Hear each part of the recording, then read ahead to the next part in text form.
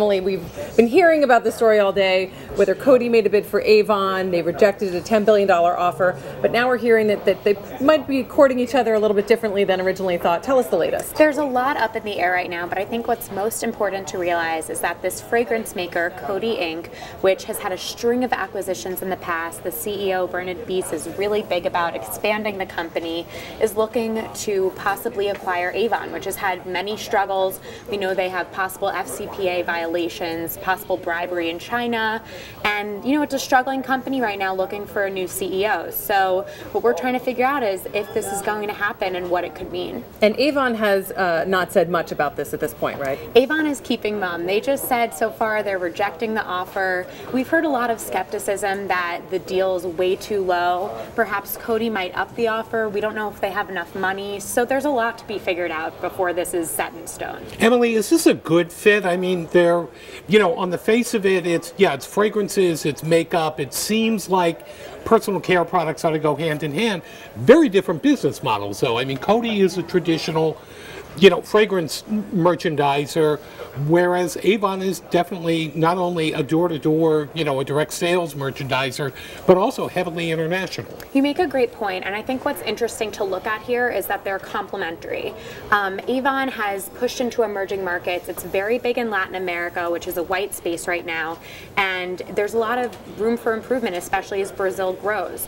Whereas Coty is big in developed markets. I think something like 80% of Coty is in developed developed markets. It's really big in fragrances. They've licensed in a lot of big companies like Calvin Klein, Nautica, a lot of celebrity brands, Halle Berry, Beyonce.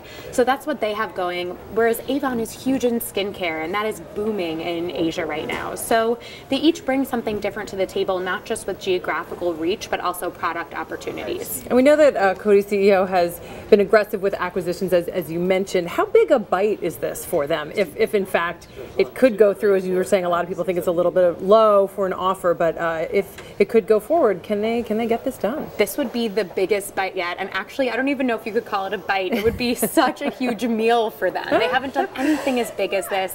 In 2010, there were a string of acquisitions: um, skincare company Philosophy, the nail polish maker OPI, which is really popular and trendy, and they've also gone into China and three years ago in Russia. So this is not new for them them to try to acquire a company, but nothing nearly as big as Avon. And Avon is a direct selling company. It's run a completely different way. It's all about the sales representatives, the customers. So this would be really new for them. And Emily, you know, whenever you make an acquisition in these sectors, you're, you're running the risk of integrating these, these new operations. But I mean, Avon's kind of a wounded duck at this point. I mean, it's had troubles, not just with the criminal investigations, but also just with its own operations, trying to transition away from domestic uh, direct sales model into an international sales model. The CEO is on the way out. It, this doesn't seem like it's an easy pill for, for a Coty to swallow. Definitely not. This is, Avon is a little messy right now, and that's no surprise. You know, we've been writing about this for a while, and it's been in the news for so many of the different things that you mentioned, but I think that kind of bright light, the opportunity is really looking at the geographic reach. It has that emerging markets down. It's very big in Latin America. It has a very strong presence there, and the product opportunities that it could offer. But that's obviously putting aside so many big problems that it already has, like like the CEO, like all the legal problems right now, that has cost the company upwards of $250 million. It's no small beans here.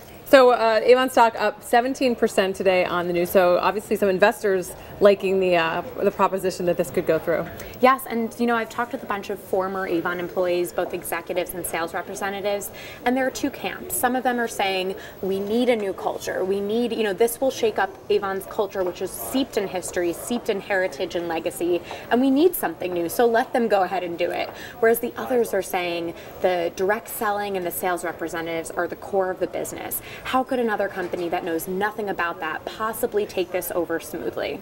So we'll see. And Emily, is there a, is there a white knight, a third party that could step into the breach here, beat Coty at its game, and take over Avon? That is a good question, and if we have that answer, I'd be happy to tell you.